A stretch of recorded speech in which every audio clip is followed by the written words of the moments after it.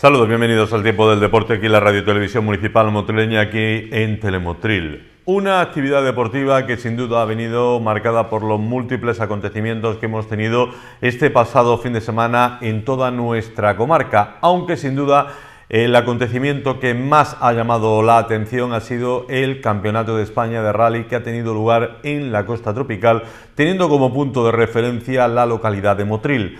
Concretamente, Eizmundi y San Juan conseguían ganar la última prueba de este rally y de esa forma se proclamaban sus campeones de España. Un rally costa tropical que ha estado organizado por la Federación Española de forma conjunta con la Mancomunidad de Municipios de la Costa Tropical.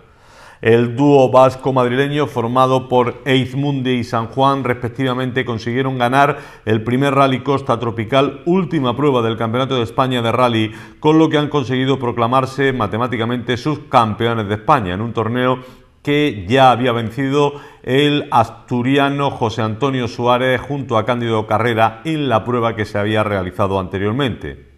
Una carrera que ha estado organizada, como decíamos, por la Federación Española junto a la Mancomunidad de Municipios de la Costa Tropical y los ayuntamientos implicados que se mostraban muy satisfechos por el desarrollo de esta actividad y todos apuntaban que quieren repetir en la próxima edición. Pues la verdad es que muy satisfecho ¿no? de que la mancomunidad haya apostado por los Guájares en esta primera edición de, este rally Costa Tropical. Pues la verdad que muy contento, un espectáculo para el municipio, para el disfrute de los guajareños y de, fin, de, todo, de toda la gente de la Costa Tropical, de visitantes que hemos tenido. He, visto por allí por el pueblo esta tarde algún canario también, ¿vale? y la verdad que muy contentos todos. Esperemos que para el próximo año se siga apostando por los Guájares desde el ayuntamiento hoy le sacaremos un compromiso al presidente ¿no? para que el año que viene siga pasando por allí por los Guajares y que podamos invertir en, esta prueba, ¿no? porque la verdad que creo que es bastante importante y, bueno, creo que le puede dar un impulso allí a, nuestra zona. Hombre, la verdad que es un espectáculo y desde aquí agradecer a la mancomunidad y al presidente la apuesta que ha hecho por traer un rally, este tipo de prueba de motor y, este rally del Campeonato de España. No solamente sirve para el deporte, sirve también para el turismo. Hombre, sirve es para el deporte, pero sobre todo la promoción que le va a dar tanto a Torrenueva como a toda la costa tropical, porque a nivel nacional traer pruebas de este índole pone a la costa tropical en valor y la pone eh, para que todo el mundo los conozca. La verdad que este año hemos estado buscando sitios. La dificultad del muñeca es que no hay tramos que se adapten a, a un rally. Estuvimos reunidos, estuve con, pues, con clubes que conocen bien la zona y no tenemos tramos que se puedan adaptar a, una prueba de, rally. Esa, es la, pues, que tiene el muñeca, tiene casi todos los carriles asfaltados y, es difícil que buscar una zona donde que el muñeca pueda coger una prueba muy importante. Todo lo que sea promoción y dar a conocer nuestra costa tropical es muy importante y una apuesta de nuestra mancomunidad de municipios en la que debemos de estar todos los municipios que la componemos. La verdad que el ambiente es magnífico. Sí, la verdad que sí, para la noche que hace de frío, el montón de actividades que coinciden a esta hora, pues la verdad que gusta el ambiente que hay y, también la, ver la pilísima de equipos que vienen de, toda España a esta prueba hoy a Motril. Hay que hacer una apuesta porque el año que viene pase por Castel. exactamente, el año que viene esperemos que pase por el municipio de Guarcho Castellar de Ferro y bueno, viendo cómo se desarrolla hoy la etapa, esperemos que mañana también todo genial y sí, esperemos que el año que viene está entre los circuitos. Un campeonato de España y prueba que se celebraba en Motril que comenzaba con la presentación de los distintos equipos. Santi Ayala, en primer lugar, bienvenido a Motril. Bienvenido, no, bien hallado. Muchísimas gracias por encontrarnos aquí en este Rally Costa Tropical, la primera edición. Fantástico ambiente, sin duda alguna. La verdad que Costa Tropical, con el fresquito que hace, ¿no? Bueno, fresquito no tanto, ¿eh? si pensamos lo que hay en otras partes de España, se está extraordinariamente bien aquí, o sea que ambiente excepcional, yo creo, para estar ya en el mes de diciembre, no olvidemos. Cuéntanos ¿Cómo es el acto que vamos a tener oportunidad de vivir en unos minutos? La ceremonia de presentación de, equipos lo que pretende es acercar al mismo epicentro, al corazón de las localidades donde va el Campeonato España de Rallys de Tierra, los coches de competición, que el público que no se mueve los tramos cronometrados donde hay que desplazarse, eh, conozca los coches, conozca los pilotos, conozca los protagonistas, conozca las autoridades, conozca quién apoya el rally. Es presentar en primera persona todo lo que va con la carrera, ¿no? Informarles también dónde están los tramos, informar medidas de seguridad, es eh, dar una bienvenida a la carrera, los pilotos también agradecer la presencia, pues de, en este caso los motrileños, motrileñas que se acerquen a darle la cálida bienvenida y sobre todo transmitir la competición, la pasión de la carrera, escuchar sonidos de motores, todo eso que contagie un poquito una carrera como en este caso como es un rally de tierra. Tú que has tenido oportunidad de vivir mucho, que tenemos que estar pendientes, ya no hoy, sino en este rally. Bueno, en este rally fundamentalmente es el último de la temporada, es el séptimo, es la primera edición del Rally Costa Tropical, pero el último del Campeonato de España. El título ya está decidido, el de pilotos, pero sí el subcampeonato todavía está en juego.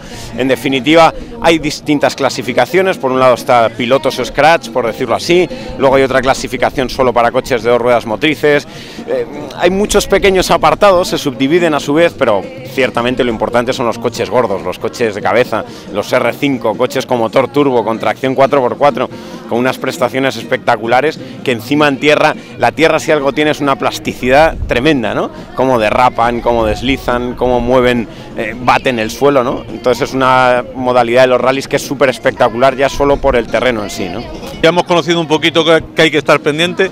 ¿Has tenido oportunidad de conocer Motril? ¿No lo conocías? ¿No lo conocías? Sí, sí, conocía Motril, he tenido oportunidad de pasar veranos aquí en Motril. Hace, hacía tiempo que no venía, pero sí que venía a Motril, encantado de, de volver a encontrarme con Motril, con todas las extraordinarias playas, aunque no las pueda disfrutar, pero con toda la cantidad de playas que tenéis tan fantásticas, bandera azul creo que en casi todas, o sea que en eso ha cambiado bastante Motril, lo veo desde luego pues mismamente este emplazamiento sensacional me siento muy a gusto en Motril, o sea que disfrutaré al máximo. Bueno, porque entonces no sea la última vez que vengas a Motril y que el próximo año tengamos ocasión de verte con el segundo rally también. Eso seguro, con el rally seguro y ojalá, porque a veces en la vida lo urgente siempre mata lo importante, ¿no? Y ojalá pudiese venir muchas más veces, aparte de la competición, para disfrutar de Motril porque me encanta. Gorka Edmendi y Diego San Juan conseguían en Motril su primer triunfo dentro de este campeonato de España de rally de tierra tras pelear durante todo el día al segundo con el equipo formado por Alex Villanueva y Óscar Sánchez. Pese a lograr estos últimos cinco scratch, ha ocupado el segundo puesto por tan solo 8 segundos de diferencia. La tercera posición fue para Daniel Alonso y Cándido Carrera, que a los mandos de un Ford Fiesta R5 subían por primera vez en su carrera a un podium en este certamen. Gorka Edmendi, ganador de la prueba, se mostraba muy contento y satisfecho por el resultado que había conseguido.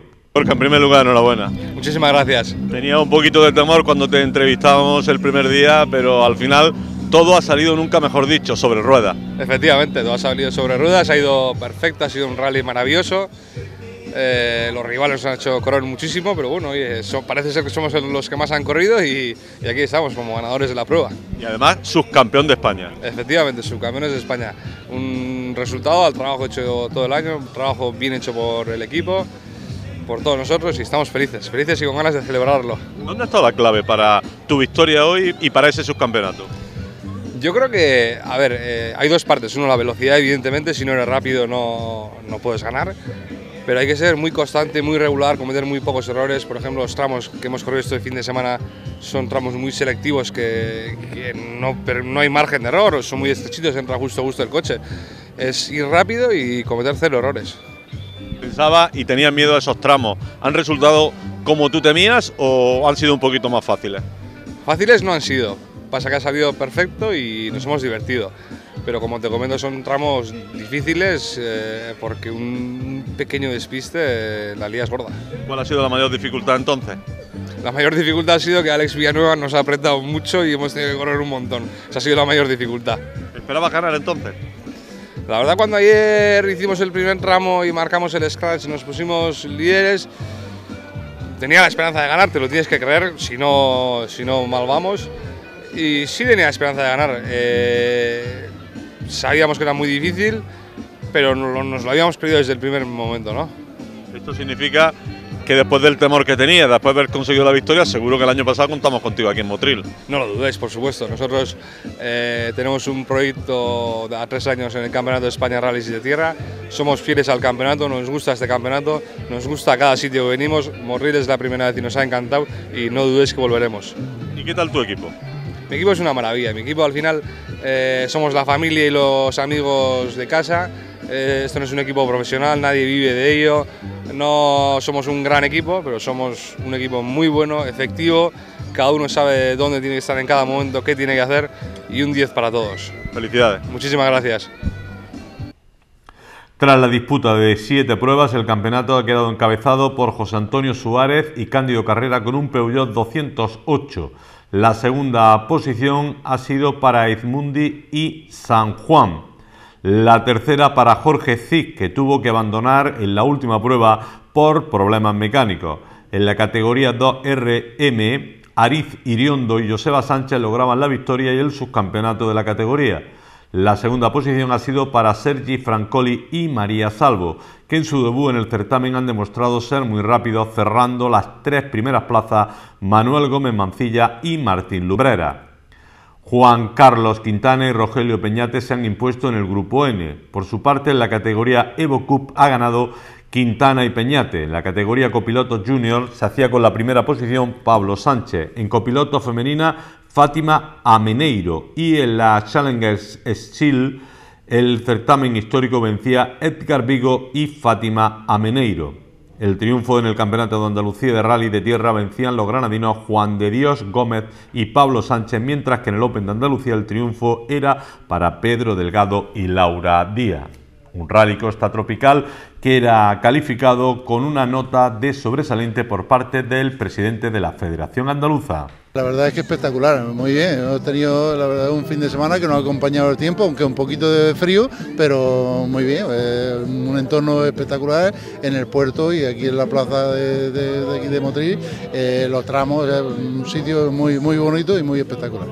Importante que la costa tropical se enganche a un deporte como es el automovilismo? Pues totalmente, muy importante. Bueno, hemos tenido a, la mancomunidad totalmente volcada con, el evento desde el primer día. El presidente de la mancomunidad eh, nos recibió con los brazos abiertos cuando vinimos a, explicarle el proyecto. Eh, lo vio y bueno, eh, apostaron 100% por ello y aquí estamos, es muy importante. Y lo importante es que, bueno, que tengamos continuidad, que esto no sea una prueba que se ha hecho este año y que se cierre, se cierre el libro, sino que si sigamos trabajando para ella y que la pongamos en el panorama nacional, siendo una, prueba, una de las mejores pruebas del nacional, porque eh, la verdad es que tenemos eh, un sitio eh, como para que así sea, porque el, entorno se presta para que así sea una de las mejores pruebas del nacional. Se tenía miedo con esta prueba se tuvo que suspender en su momento, se ha celebrado después. ¿Qué valoración final podemos hacer de ella? Bueno, desgraciadamente eh, eso ha sido un, un hándicap bastante grande. Eh, esta prueba eh, tenía un, atractivo, o sea, de, antemano se preveía que iba a tener una inscripción muy buena porque en el mes de octubre no estaban los campeonatos decididos, había bastante rivalidad entre los participantes porque todavía quedaban dos pruebas por celebrarse, pero desgraciadamente el plan Infoca nos obligó a suspender la prueba y aplazarla a esta fecha. Ya al hacerla en esta fecha, pues ya están todos los campeonatos estaban decididos, toda eh, la Copa Aigo, que es una, de las copas que más, más inscritos aporta al campeonato, al ser la última prueba ya del campeonato, decidió no estar aquí presente, eh, también ya porque estamos en el mes de diciembre, y entonces eso nos ha dado a que la inscripción sea un poco corta, pero no por eso no es importante, porque hemos tenido en la parrilla de salida los mejores coches que tenemos en el Nacional el presidente de que hay que dar continuidad, hay que seguir y pensar ya en la segunda en la tercera edición. Totalmente, así hay que, hacerlo. Eh, bueno, eh, buscar una fecha que sea más idónea para, la población y para, para la mancomunidad del municipio y que bueno que esto tenga un número de inscritos considerable como debe ser y que, como he dicho antes, que sea un referente en el Campeonato de España, porque puede serlo, porque tenemos infraestructuras más que suficientes como para que así sea. Desde el club granadino organizador también valoraban de forma muy positiva el desarrollo de esta prueba. Eh, muy bien, eh, muy contento, muy satisfecho eh, con las instituciones, con la mancomunidad, con la Federación Española, con los pilotos cuando después del rally hablas con ellos y, y les ha encantado la costa tropical, les ha encantado los tramos, la asistencia, en general para ser la primera edición súper satisfecho, donde tomamos nota de todas las cosas mejorables y, bueno, con muchas ganas de tener una próxima reunión para hablar de futuro. Hablar de futuro, porque ya se está pensando en la segunda edición. Sí, por supuesto. Eh, yo creo que es un enclave fabuloso eh, para, todo, para todo este campeonato nacional, que vienen pilotos de, todos los rincones de España. Y, y, bueno, la ciudad le ha acogido estupendamente, le ha encantado la zona.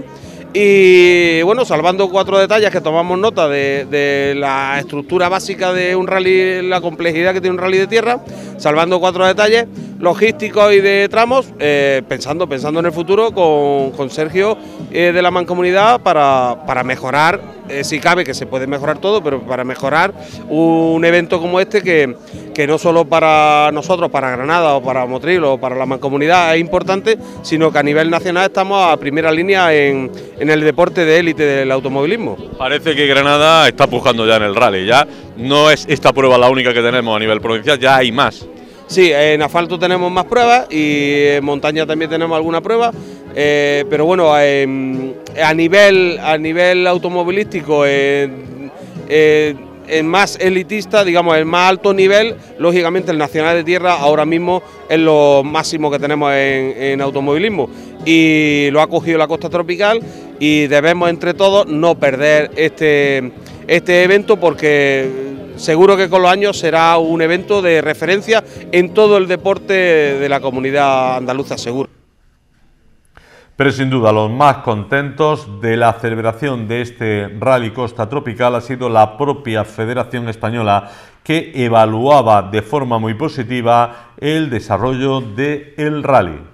Sí, bueno, la verdad que el principio ha sido malo porque las condiciones meteorológicas no nos han acompañado. Venimos de sequía y ahora nos hemos encontrado con una lluvia que no nos ha dejado dejar los tramos como realmente queríamos para poder competir y por tanto hay que acortarlo un poquito. Se han hecho casi 70 kilómetros al crono de los 90 y en líneas generales los pilotos muy contentos.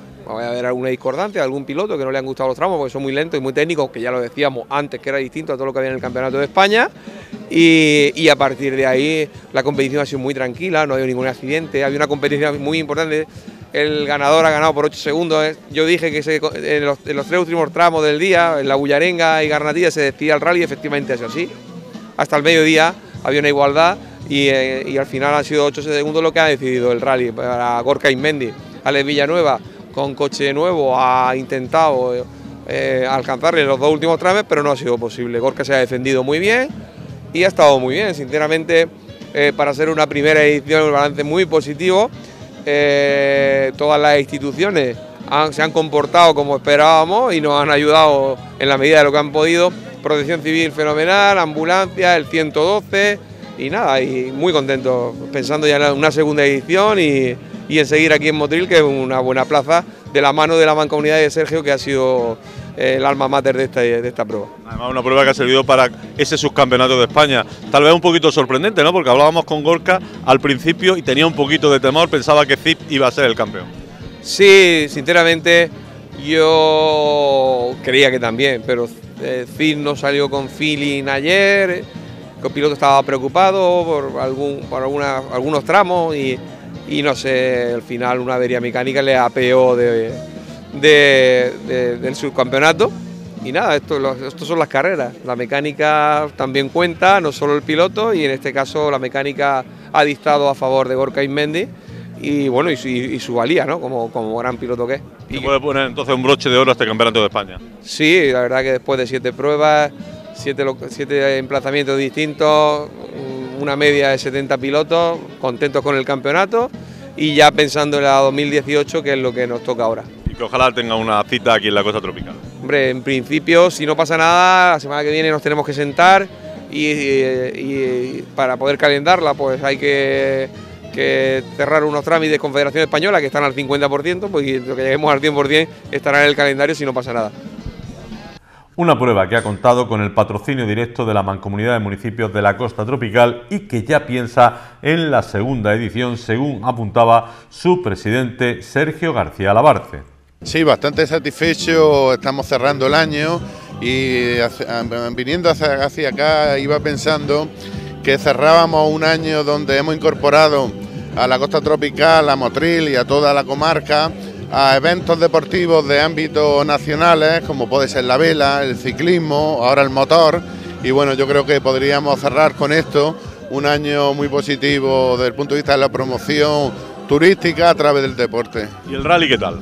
El rally yo hoy lo he vivido en Bullarenga y la verdad que es un espectáculo que los eh, aficionados motrileños y visitantes de la costa que lo hayan vivido, pues habrán comprobado que la verdad que es un espectáculo que hay que vivirlo. Hemos tenido oportunidad de ver algunos tramos donde la gente se ha dado cita, como si la gente supiera dónde tenía que verlo o no.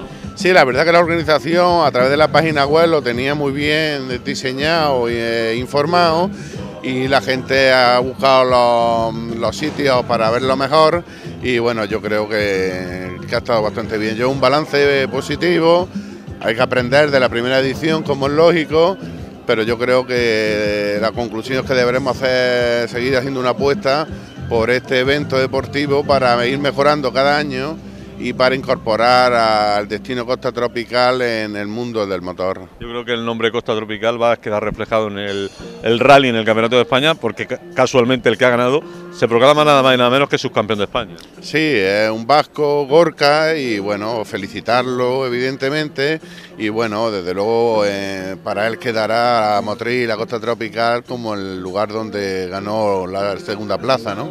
Principalmente se buscaba eso, ¿no? Promoción fuera, sobre todo fuera de Andalucía. Sí, evidentemente, independientemente de la celebración de ayer y de hoy, hay un trabajo previo de promoción que ha ejecutado la Junta de Andalucía a través de medios de comunicación eh, regionales y nacionales, tanto de televisión, prensa como radio, que eso también evidentemente ha servido para vender la marca Costa Tropical antes, durante y estoy convencido que durante la semana, eh, posteriormente, en los distintos medios de comunicación de ámbito nacional y regional. Por lo que usted ha dicho antes, a partir de ahora empezamos a trabajar en la segunda edición. Sí, vamos a descansar como es lógico, vamos a cerrar eh, todo el tema administrativo de esta primera edición vamos a sacar las conclusiones y vamos a ir planteando la segunda edición con el aprendizaje de esta primera para conseguir una segunda edición bastante mejor. En este evento han participado diferentes empresas. Eh, ahora con uno de los patrocinadores y de los colaboradores más activos de este campeonato de España, de este primer Rally Costa Tropical de Gasa, que ha puesto distintos vehículos en primer lugar ¿Cómo os sentís al haber colaborado con esta competición? La verdad que ha sido una cosa muy interesante, muy, muy agradable y esperamos que no sea la primera, que sea la, primera de muchas más ocasiones que podamos estar ¿no? presentes en este rally. ¿Cómo ha sido vuestra colaboración? Bueno, pues eh, nosotros como equipo de apoyo técnico, tanto en carrera como fuera de carrera, hemos aportado cinco vehículos de la marca a disposición de los comisarios hemos prestado nuestras instalaciones en colaboración para hacer las verificaciones después de la carrera y, en fin, estando con ellos en diferentes tramos y aportando toda la ayuda que hemos, que hemos podido. Unos coches que daban un colorido especial a la apertura de la carrera, ¿no? Entonces, tenemos la gama de productos, Ranger Robert Evoque, Jaguar F-Type y hemos estado pues bueno, distribuyendo y, y, demostrando que son productos, a pesar de eso, para poder andar en todo terreno. Por lo tanto, contento. Muy contento. Pues gracias y, a repetir el año que viene. Sí, esperemos que así sea. Éxito total, por tanto, para este primer Rally Costa Tropical, prueba puntuable para el Campeonato de España. Ya hay que pensar en la edición 2018.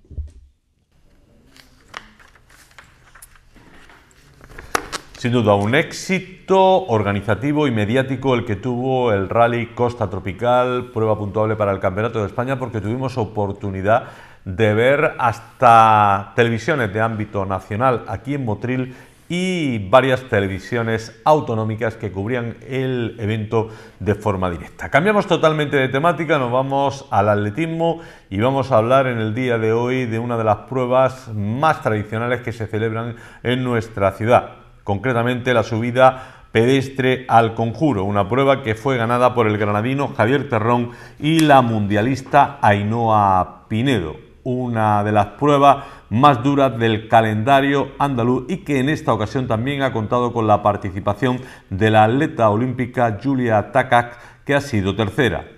La carrera está organizada por el Club Pasito a Pasito en colaboración con el área de deportes del Ayuntamiento de Motril y ha contado con una participación de 220 atletas llegados a diferentes puntos y estos han tenido que salvar un desnivel de 754 metros en tan solo 17,7 kilómetros con el acicate añadido de que la dureza de la rampa aumenta conforme más cerca está la meta.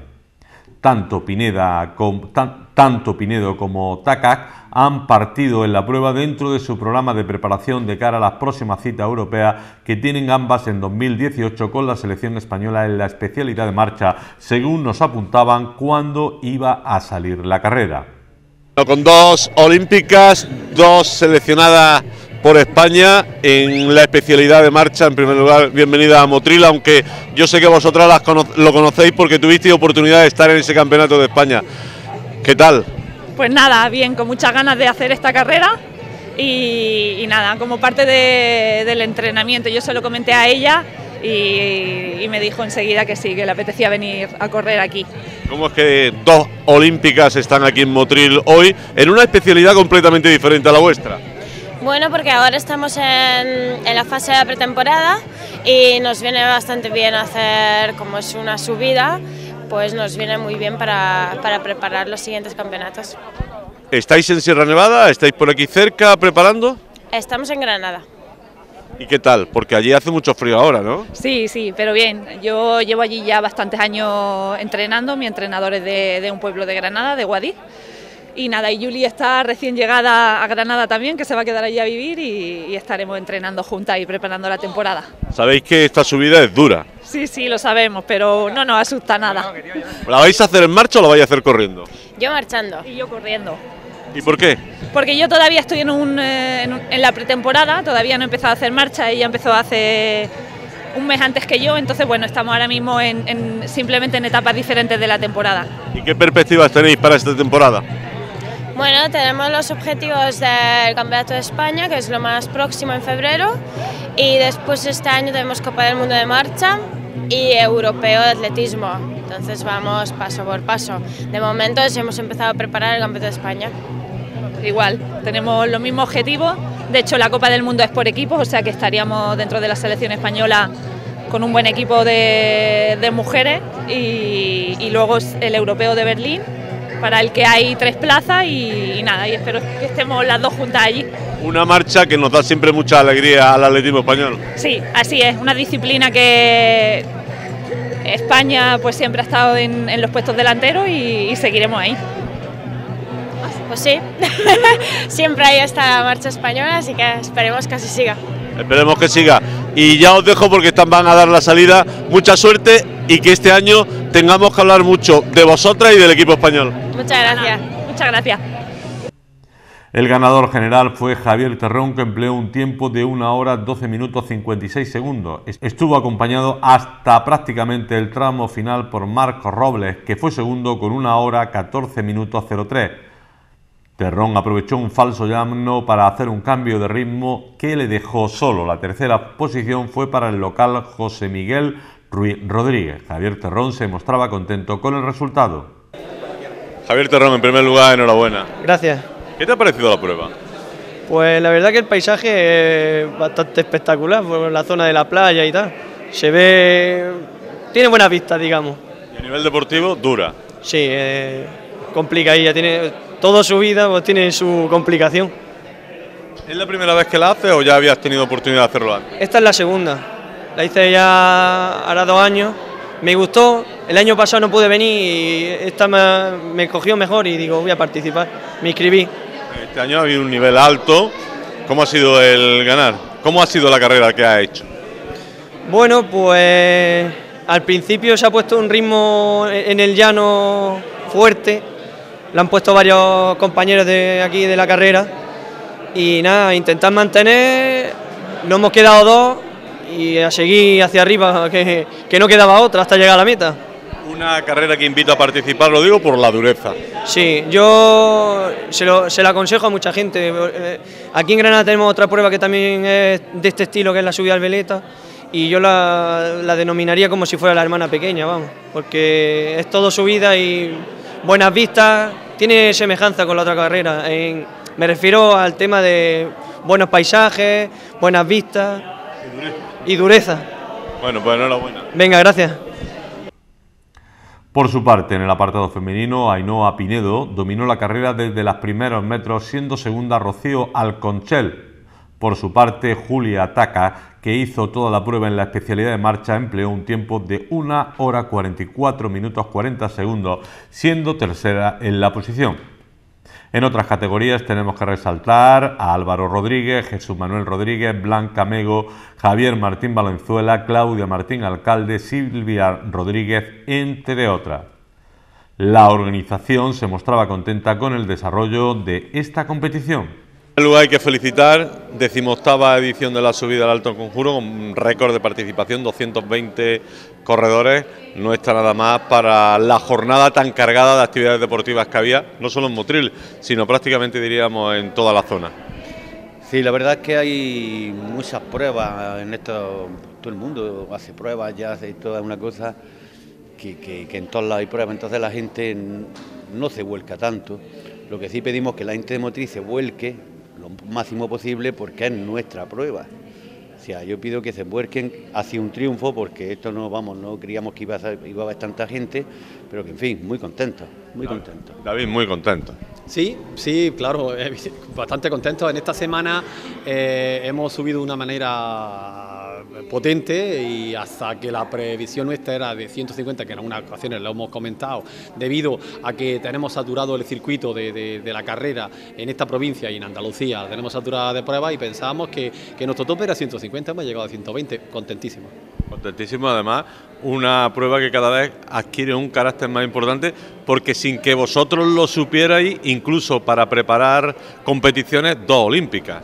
Sí, correcto. Bueno, eh, la sorpresa ha sido mayúscula esta mañana cuando eh, nos dicen que tenemos a dos olímpicas en la prueba. Bueno, pues maravilloso. Le pregunto a ellas qué por qué lo hacen y bueno, porque es un reto y porque hablan muy bien de la prueba, les gusta y que es en ascenso y que bueno que han venido a hacerla. Hablando con ellas en su terminación, pues la verdad que, quieren repetir. Eh, eso es buena señal. Pues sí, muy buena señal, porque hombre, el apoyo de ellas es muy importante le da una categoría pues que no la tenemos, simplemente, porque normalmente somos aficionados. Y a nivel deportivo, ¿qué te ha parecido la prueba? Tú que la haces prácticamente todos los años. a nivel deportivo, espléndida, espléndida. Siempre, siempre muy contento. Mmm, avituallamiento en todos sitios, muy bien. Después la llegada, muy bien. Vamos, vamos, todo mucho, todos amigos, todo muy bien, muy bien, muy bien. Y muy bien organizada. Y hoy además ha acompañado la, temperatura, afortunadamente. Muy bien, muy bien, ni ha llovido ni nada. Una temperatura muy buena para correr, porque ha habido, creo que ha habido 7 o 8 grados, ¿no, David? Sí. 7 grados, por ahí, muy bien, muy bien, muy bien. David, todo el mundo muy contento y todo el mundo habla de las maravillas de esta prueba. Bien, la verdad que hemos tenido una suerte espantosa de contar con gente que le gusta el atletismo, gente que viene a participar eh, con su pequeño fondo de competición y bueno, gente en general del mundo del atletismo y del deporte que nos han hablado muy bien. Nadie nos ha dicho nada que tengamos que corregir hasta ahora y bueno, y la verdad que como organizadores que somos del evento, el Club Pasito a Pasito, con algunos más, estamos muy contentos. Agradecimiento a los colaboradores y a los patrocinadores.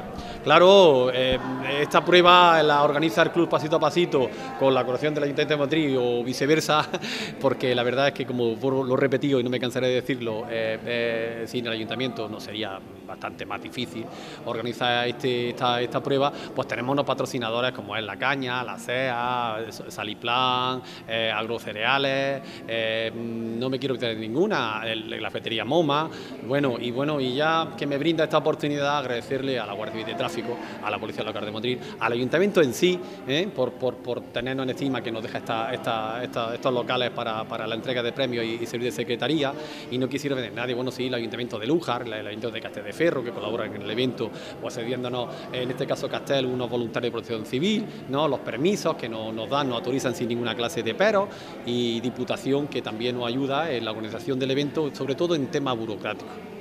Sin estos colaboradores sería muy complicado hacerlo. Muy complicado, muy complicado, porque siempre acudimos a ellos y siempre están ahí. Casi todos los años tenemos los mismos, ¿no, David? Y este año se han sumado algunos más que Se han sí, sumado algunos más y es verdad que colaboran y estamos muy contentos con ellos. Pues felicidades para los dos y para todo el club. Venga, muchas gracias. Una prueba que ha contado con la colaboración del área de deportes del Ayuntamiento de Motril. Ha tenido oportunidad de ver la prueba prácticamente íntegra, menuda dureza. Sí, la verdad es que, bueno, eh, la subida al conjuro, eh, el pico más grande, creo yo, que, hay de la Coma Sky y, y, bueno, una subida que ya hemos visto en la pendiente, que algún coche que otro echaba, iba que echaba humo, o sea que imagínate, la, pero bueno, es una prueba ya emblemática de aquí y hay que darle la enhorabuena al club pasito a pasito eh, por- por su implicación, por la cantidad de gente que están atrayendo, por, por- por la organización y bueno, y contar por supuesto con la ayuda de- del ayuntamiento que están contando siempre. ¿no? Una prueba que demuestra su prestigio y su nivel organizativo con la presencia de dos olímpicas, ¿no? Sí, la verdad es que bueno, es una prueba que es dura, es dura y ya yo creo que eso hay gente que a lo mejor para un entrenamiento de alto rendimiento también usa, es corta pero es dura, usa ese tipo de, de recorrido, ¿no? Y bueno, yo creo que entre la rueda de prensa que la presentamos y hoy ha habido un- una explosión porque se esperaba ciento y pico participantes y creo que ha habido unos 220, o sea que nada más que darle la enhorabuena y ha sido una mañana extraordinaria de deporte.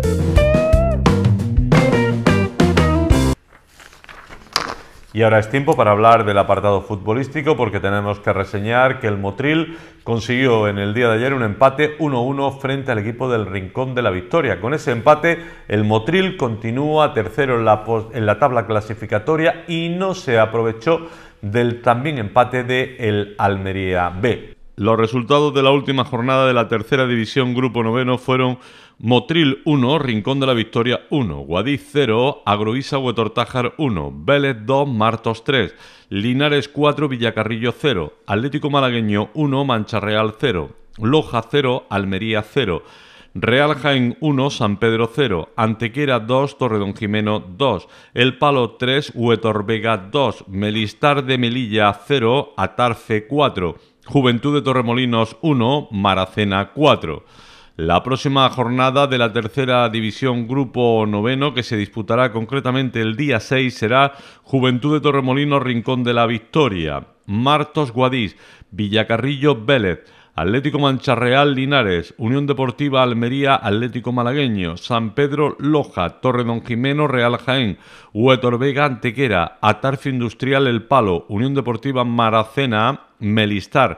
Y recordamos que el partido Agroisa Huetor Tajar frente al Club de Fútbol Motril se jugará definitivamente el día 20 a las 8 de la tarde.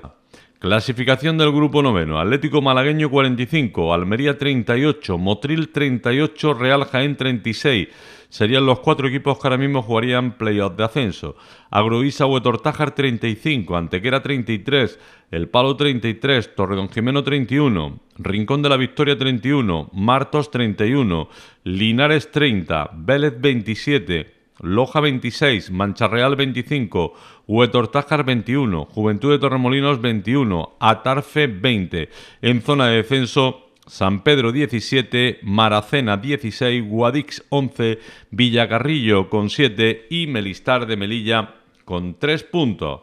Por lo tanto, destacar el empate conseguido por el Motril en la jornada que jugaba frente al equipo de El Rincón de la Victoria.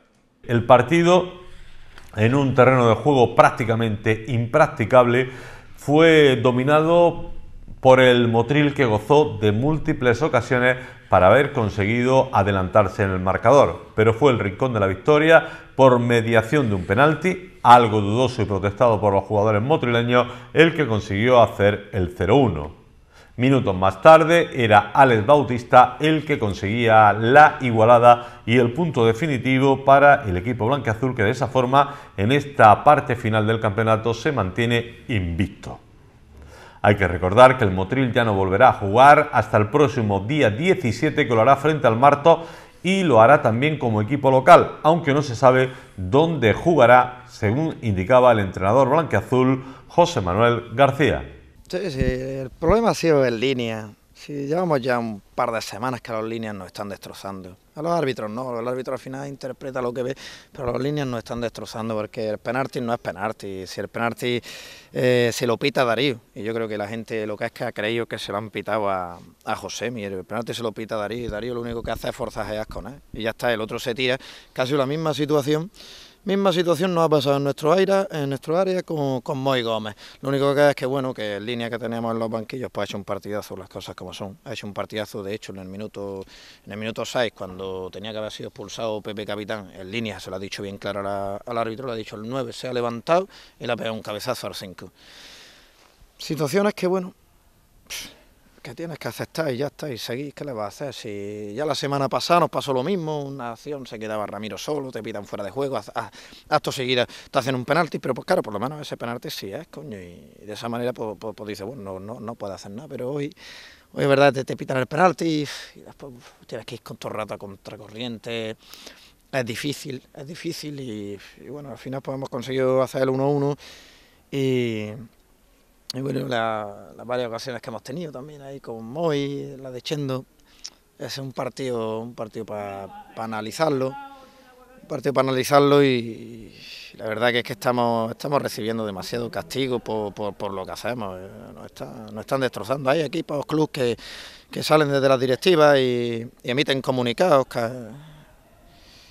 pues sí, cagándose en el cielo y la madre de, de la gente que, que está desacertada y, y aquí pues, pues, pi- pienso que tendremos que hacer lo mismo, porque no, no puede ser normal lo, lo que nos está sucediendo. Y ya no es un partido, al final ves todas las sanciones que tenemos, ves todos los penaltis en contra que nos pitan y las últimas actuaciones, pues ya digo, no, no del árbitro, no del árbitro porque tanto uno como el otro estuvo bien, bien, sino en este caso han sido las líneas. Llevamos dos semanas donde nos están destrozando las líneas y, y hoy pues te cuesta dos puntos, aparte evidentemente del, del terreno de juego que, que le doy un mérito, un mérito tremendo al equipo de, de- de- de ya de poder jugar aquí. El terreno de juego es que está fatal, ¿eh? Es con- difícil controlar una pelota. Sí, ya, aquí, es, aquí, aquí ya prácticamente es imposible jugar. Sí, porque llevamos dos meses entrenando allí en Castel. En este caso, pues son las, las gracias que tiene estar en el Motriz. Es triste, pero es así. Las gracias, la- en el momento en que entran en el Motriz, pues sabes que, que al principio tienen un buen super- una buena superficie de, juego y después ya tendrán una superficie lamentable y a posterior pues tendrán una buena superficie. Es la gracia que tiene Motrilla, hay que aceptarlo y ya está, ¿qué va a hacer? Si encima tú dices y, y, peor te tratan. Entonces, en este caso, pues, por, por eso le doy un mérito tremendo a- al equipo. Cuando ha- jugar aquí, ya digo, es que es prácticamente imposible. Si eh, los mismos entrenamientos, eh, yo que voy eh, zapatilla que no estoy ni disputando el balón, hay veces que, que- que me resbalo yo solo y nada más arbitrando. Eh, es una, es una superficie lamentable para lo que es, para lo que es Motriz, pero bueno, eh, también eh, institucionalmente es lo que es Motriz es, es lamentable a nivel nacional también. ¿Será el último partido del 2017 aquí en el Escrima Castilla? Sí, espero que sí. Sí, vamos, ya ahora empieza la resiembra, como todos los años, es que al final es, es un gasto un gasto inútil, porque al final todos los años tienes que hacer el mismo gasto cuando realmente el, eh, el campo cada vez va peor. Llegará un momento en que no le valga la resiembra y, y algo tendrán que hacer. Pero bueno, en este caso pues esperemos que, que los siguientes partidos pues ya podamos disputarlos en una superficie que esté bien y, y lo más importante pues se- seguir sumando como lo hemos hecho hoy. ¿Se sabe dónde se jugará o todavía estáis mirando? Todavía estamos mirando porque ahora mismo Motril no, Motril no tiene ninguna instalación válida como para albergar un partido de tercera división. Hemos enviado hemos enviado pues bueno lo que es el polideportivo eh, a la Federación Española y hemos enviado lo que es el Cerrillo a la Federación Española y evidentemente eh, por ser eh, por ser realistas que se han reído de nosotros. Cuando han visto esas instalaciones pues son- se, han, se han reído un poco de nosotros. Pero bueno, son situaciones que pasan, situaciones que pasan en Motril, evidentemente también. Entonces, pues bueno, eh, ahora tenemos que ver en dónde, dónde, dónde nos, vamos a jugar, dónde nos vamos a jugar. Ese es uno de los problemas. Ya, por ejemplo, eh, contra el Vélez eh, nos sancionaron, nos sancionaron porque la instalación, y esta instalación me parece una de las mejores que hay en la categoría, porque eh, tenía unas necesidades que la vieron los árbitros y no se cumplían, pues ya nos no sancionaron con, con el escribano Castilla, pues es evidente que cuando envío lo que es el cerrillo y cuando envío lo que es el poli, pues es evidente que, que la gente de la federación pues, pues se ría, es evidente. ¿Qué necesidad de encontrar un defectuoso? En este caso, pues bueno, eh, aparte del terreno de juego, eh, lo que vieron fue eh, los acomodamientos de los árbitros. En este caso, pues no había, porque los tanques estaban, estaban rotos, no había agua caliente ni para los árbitros, después los azulejos que se habían caído, son situaciones, situaciones más, más cómodas o más propicias para ellos, pero es evidente. Eh, allí en el, año que era el presidente, el padre de Iniesta en el Albacete, pues llegaban los árbitros y el padre de Iniesta en este caso los recibía y les daba botellas de vino de su viñada y les daba un no incluso, eh, con sus iniciales grabadas en el no Son detalles que evidentemente los árbitros notan, pero sí, claro, sí, de- desde aquí de Vélez, y curioso- curiosamente, curiosamente desde esa, desde, ese, desde esa jornada, pues es de donde nos están destrozando, pues lo puedo entender, sí, es verdad. Ahora los, los árbitros van y hablan entre ellos. Ahora se reúnen y hablan. Y dicen, oye, ¿cómo te han tratado en Motriz? Y llegan y te dicen, pues bueno, es que en Motriz pues, nos tuvimos que bañar con, con agua fría, te, te encuentran unas situaciones lamentables, pues evidente que luego pasen las cosas que pasan, eh, situaciones que vemos todos y que, y que nos perjudican. Pues, por ejemplo, contra el, Torre contra Torremolinos, pues era evidente que no había ningún fuera de juego, que era un autopase de Ramiro, Ramiro iba solo, eh, Joan se inhibe de la jugada y hoy, por ejemplo, eh, el penalti ha sido ficticio totalmente. ¿El jueves o Tájar? No, no, esta semana no jugamos, esta semana no jugamos, jugamos el día 20, el día 20, eh, en este caso nosotros tenemos dos futbolistas que están en la selección, entonces la, selección, eh, muy inteligente por, su parte, pues eh, envía unas circulares a, los, a todos los clubes en el cual dice que si hay algún futbolista para no eh, modificar o perjudicar la, categoría que los partidos de, este, de esta semana se juegan en el día 20. Nosotros, pues educadamente, se lo enviamos a la federación, se lo enviamos a, también al Guadalajara, le dijimos que, que, bueno, que qué día querían ellos para para, poder jugar partido, sabiendo nosotros que era el día 20, y nos llevamos la sorpresa de que, bueno, eh, corriendo se puso el día 6 a las 4 y media. Es evidente que eh, me reí, eh, me reí porque me, hizo gracia mucho el detalle ese. Entonces, bueno, rápidamente llamé a la federación, le comuniqué a la federación que el Guatortaz había puesto el partido a las 4 y media y me comunicaron que, era imposible. evidentemente nosotros nos acogemos a lo que dicta la federación, que en este caso, pues, las palabras textuales de la federación eh, fueron que el Guadalajara había ido de listo, es evidente, te faltan dos futbolistas, que son los dos centrales, pues evidentemente poner el partido corriendo para tener esa, superioridad, pero me hizo gracia el de pequeño detalle. Entonces ya nosotros nos pusimos en contacto con el Taja y se lo dijimos bien claro. Le dijimos, oye, mira, por favor, a ver si tenéis un poquito de documentación, a ver si nos leemos las circulares y vemos que, que nos hemos percatado de que habéis puesto el partido a las cuatro y media cuando es imposible que se juegue el partido a las cuatro y media. El partido se tiene que jugar el día 20 eh, en un horario de, de las 4 hasta las 8. Eh, el Motril tuvo muchas ocasiones para haber conseguido la victoria. Así lo reconocía el cantero motrileño Joan Grasa. La verdad que, bueno, se nos ha puesto el partido muy complicado con el penalti en contra. Eh, hemos tenido muchas ocasiones que bueno, el portero ha estado muy bien, eh, pero bueno, el equipo nos ha rendido y hemos ido a buscar el empate y cuando hemos hecho el empate hemos ido a por el partido y no se puede reprochar nada al equipo porque en todo momento ha ido a por los tres puntos. Lástima la ocasión tuya, el paradón que ha hecho el portero. Sí, eh, la verdad que cuando la he visto salir eh, estaba convencido que entraba y a la última hora he visto la mano de, del portero que, bueno, que había estado ha sido el mejor de, su equipo y, bueno, eh, felicitarle y una mala suerte porque si hubiera entrado era el gol de la victoria y hemos tenido más ocasiones, pero bueno, ha sido una pena porque no ha querido entrar. Y tú bien, ¿no? Máximo goleador del equipo y entre los máximos goleadores del grupo. Sí, yo estoy contento, me siento muy a gusto aquí en el equipo y me tratan muy bien. mi objetivo es eh, estar arriba con, con el equipo, lo más arriba posible con el equipo y, y, si personalmente me salen las cosas, pues mejor. Ahora una semanita de descanso hasta que se juegue en el partido frente al Martos. Sí, eh, mm, todavía no sé dónde vamos a jugar, pero bueno, ya sabemos que Martos es un rival difícil porque tiene buenos jugadores, tiene a gente arriba muy, muy de mucho nivel y, bueno, seguro que será muy difícil. Por cierto, muy complicado jugar aquí ya. Sí, es un, patatal, la verdad, que, que, es muy difícil jugar aquí.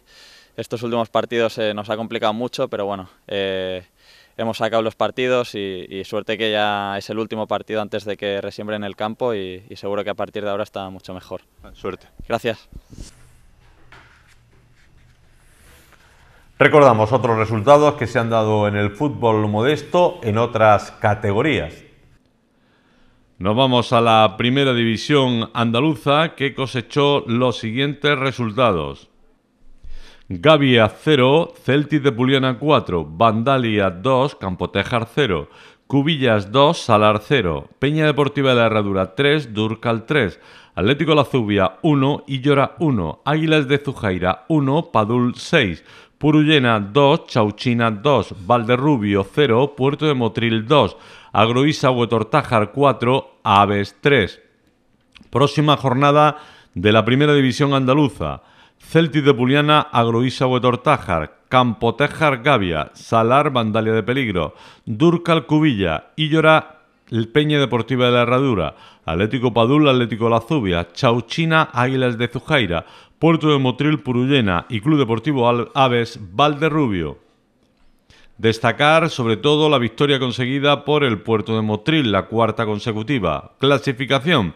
Celtic de Buliana 34, Campotejar 31, Cubillas 26, Agroisa Huetortájar 25, Salar 25, Vandalia 23, Gavias 21, Octavo Puerto de Motril 19, Durcal 19, Atlético Padul 18, Illora 17, Atlético La Zubia 13, Purullena 12, Águilas de Zujaira 12, en zona de descenso Aves con 10, Peña Deportiva de la Herradura con 9, Chauchina con 4 y Valderrubio con 4 puntos. Como decíamos anteriormente, hay que destacar la victoria, la de forma consecutiva que consigue el equipo de El Puerto de Motril, que lo sitúa en una zona media de la tabla clasificatoria.